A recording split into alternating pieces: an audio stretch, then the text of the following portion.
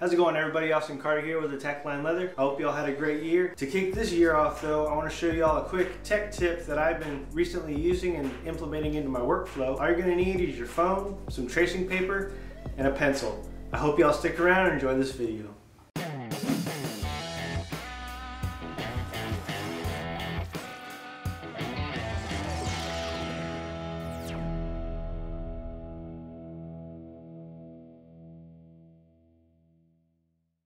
As I stated before, you'll need some tracing paper, obviously your leather project, and an 8B pencil, and your phone or tablet.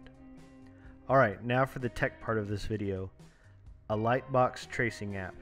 I'm not partial to one, but the one I'm using right now is free in the Play Store, and it's called Tracing Paper Sketching. I've downloaded several tracing apps and they all seem to have basically the same features. I just like this one a little bit better.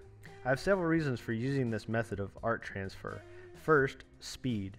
Using this method cuts down on my drawing time and takes the guesswork out of a specific subject I'm trying to draw. Second is accuracy. Many times I'll have a client send me a brand or initials they wish me to add to their order, and with the tracing app on my phone, I can cleanly and accurately transfer their request. And third, it'll save you some money.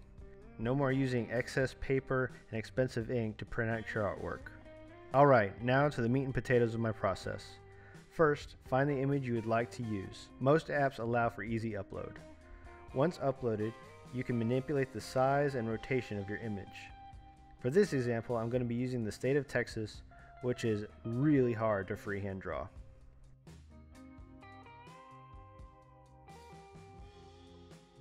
Second, be sure to mirror the image and trace it flipped from how you would normally have it.